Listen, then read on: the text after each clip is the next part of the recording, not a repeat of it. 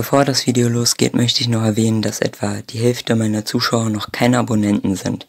Das heißt, wenn ihr mich unterstützen wollt, lasst einfach mal ein Like und ein Abo da und jetzt geht's los mit dem Video. Willkommen zurück zu Minecraft Bedrock Redstone Mechanics. Es ist lang her, sogar sehr lang her, schon mehrere Monate, schon ein halbes Jahr.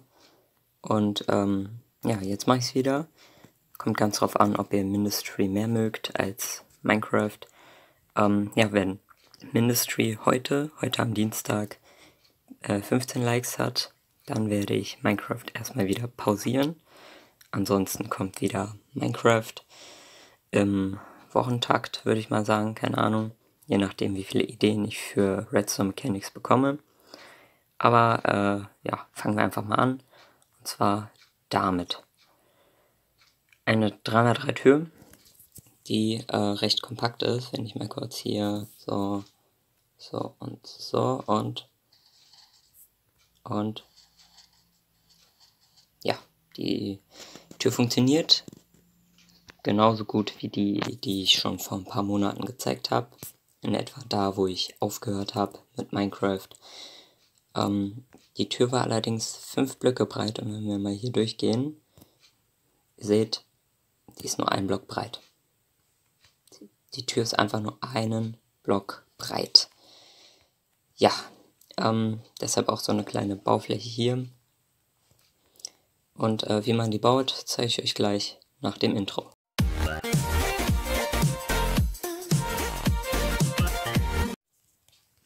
So, hier haben wir das gute Stück. Ist wirklich nur einen Block breit, das heißt, man kann äh, eine Tür bauen, Block freilassen, Tür bauen, Block freilassen, Tür bauen. Das heißt, auf der alten Tür, die fünf Blöcke breit war, könnte man einfach drei von diesen direkt hintereinander machen und so eine riesige Bunkertür bauen, so eine dreifach verstärkte Bunkertür. Ähm, zudem gibt es noch einen Vorteil. Vorher musste dieser Block hier, genau der da, ein solider Block sein. Das ist jetzt nicht mehr nötig. Alle neuen Blöcke können nicht müssen nicht solide sein, also sie können jegliche Form haben. Es können Stufen sein, Treppen sein. Sie können auch aus Glas sein, obwohl ich euch das nicht empfehle, weil das schon recht hässlich ist. Ja, also ich habe hier so einen kleinen Konstruktionsblock hingepackt, damit ich euch zeigen kann, wie groß das Ding eigentlich ist. Und keine Sorge, ich habe hier auch nichts abgeschnitten. Dann gucken wir mal rein. Und da seht ihr die Größe x ist 1, also ein Block breit. y ist 10, genauso hoch wie die alte Tür. Und z ist auch 10, das heißt von der Breite hier auch 10 Blöcke. Ich glaube, das ist sogar ein Block breiter als die alte Tür, das hier. Ähm, ich wusste nicht ganz, wie ich das hier machen könnte. Ich brauchte hier nämlich eine Invertierung, aber naja. Gut, dann haben wir hier den Hebel. Ähm, wenn man den Hebel drückt, wird dieses Redstone-Signal aktiviert, dieser Verstärker, dieser Kolben wird gepowert. Vorher noch wird dieses Redstone gepowert, dieser Observer wird gepowert, der untere Piston wird gepowert. Das führt dazu, dass der Kolben diesen Kolben hochhebt und damit auch diesen Block hochhebt, zieht den dann anschließend wieder zurück, ist ja nur ein Beobachter. Dann wird, ähm, dann wird dieser hier gepowert, oder? Moment, ich weiß selber nicht. Ah ne, dann wird dieser Kolben hier gepowert mit, die, mit diesen zwei Redstone-Fackeln hier und dem Verstärker. Und zu guter Letzt wird dieser Kolben hier gepowert. Ja, wenn wir dann weiter nach oben gehen, wird es immer inkomplizierter. Hier einfach nur eine Redstone-Line, die hier runterführt und ganz knapp, ich glaube mit einer Signalstärke von 2 hier unten ankommt. Und eine Redstone-Fackel invertiert das Ganze. Das hier ist alles wieder der Rückholmechanismus. Wenn man den mal drückt, seht ihr, der Kolben geht runter, aktiviert das alles einmal. Und hier haben wir einen äh, Kolbenextender mit einem kleinen drei eingebaut. Und äh, ja, das ist das Ganze schon.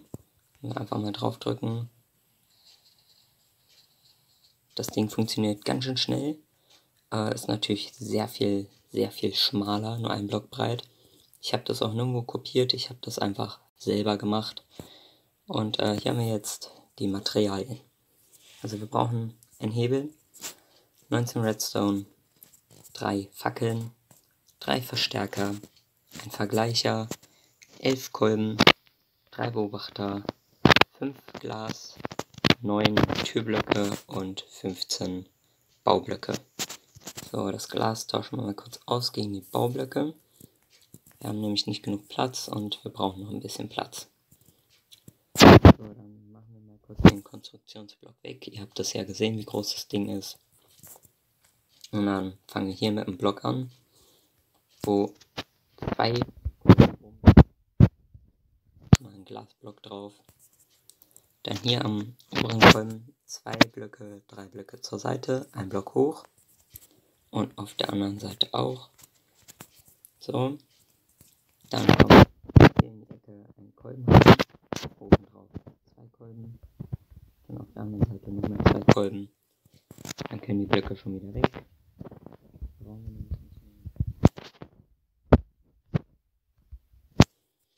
So, dann schnappen wir uns wieder unsere Baublöcke, gehen drei Blöcke nach oben, ein Block zur Seite und platzieren von unten drei übrige Kolben dran.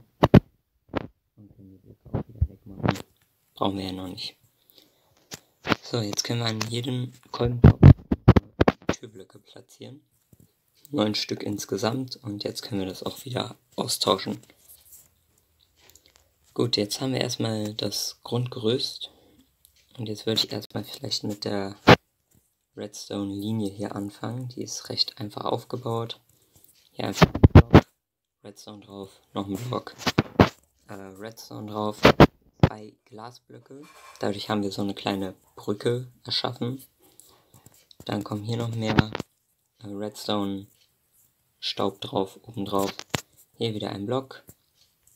Redstone, Redstone, Glas, Glas, Redstone, Redstone. Genau gleich aufgebaut, genau gleiche Seite. Dann wieder hier ein Block und wieder Redstone drauf. So, äh, die Fackel können wir auch schon dran machen. Und den Teil machen wir danach. Erstmal wollen wir die, äh, die Verteilung der Blöcke. Gut, dann machen wir hier mal zwei Blöcke hin. Machen unseren Hebel dran, unseren einzigen Hebel.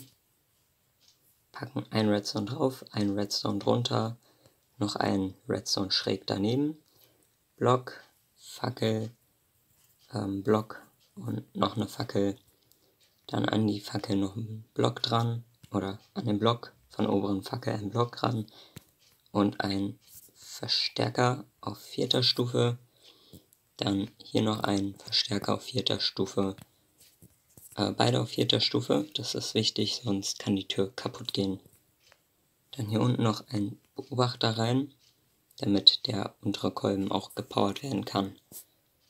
So, jetzt haben wir eigentlich die ganze ähm, Schließung der Tür schon fertig. Jetzt müssen wir es nur noch öffnen lassen. Und zwar brauchen wir dazu einen Doppelkolben-Extender, der dann den Block von der Mitte runterholt. Und da bauen wir mal schnell ein. Und zwar so, Moment. Äh, Verstärker auf zweite Stufe, Block, Beobachter, Block, Block.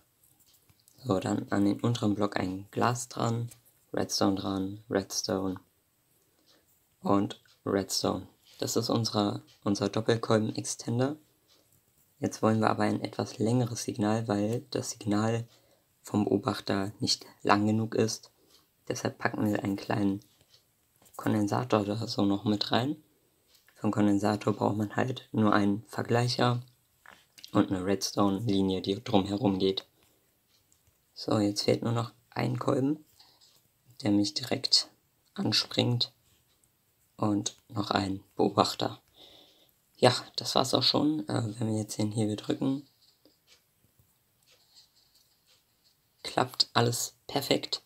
Das ging auch sehr viel schneller als das vorherige Tutorial. Da habe ich 20 Minuten gebraucht und habe es nicht kapiert. Jetzt sind wir hier schon in 8 Minuten fertig.